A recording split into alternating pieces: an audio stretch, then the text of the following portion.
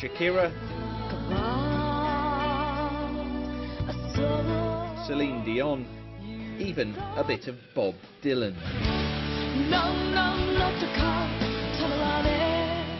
Pretty much anything you want, Phyu Phyu Kyaw Thein can sing it.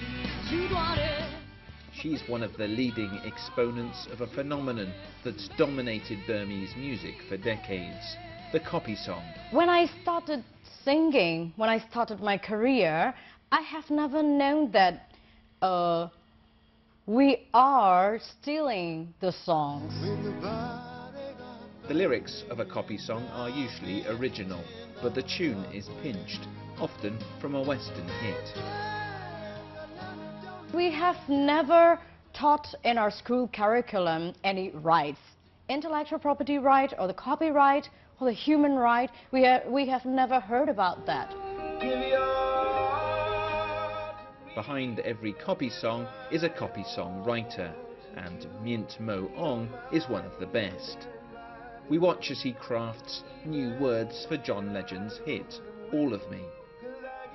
In total, he's written more than 300 copy songs. As a Buddhist, I do feel bad about taking the music without asking, he says. But we don't make much money, so in a way, what we're doing is helping to promote Western music. In most of the world, you have to pay royalties if you want to make money from someone else's hard work but not here. The Burmese artists writing and singing copy songs aren't doing anything illegal. The only copyright law here is an old British one from a hundred years ago, and it's aimed more at literature than music.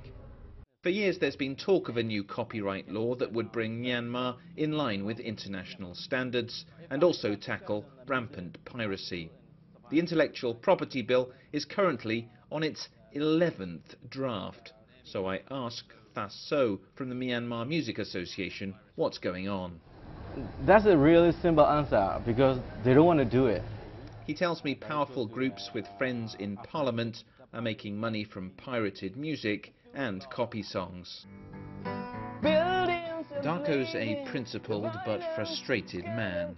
His band doesn't play copy songs and perhaps as a consequence it isn't having much commercial success.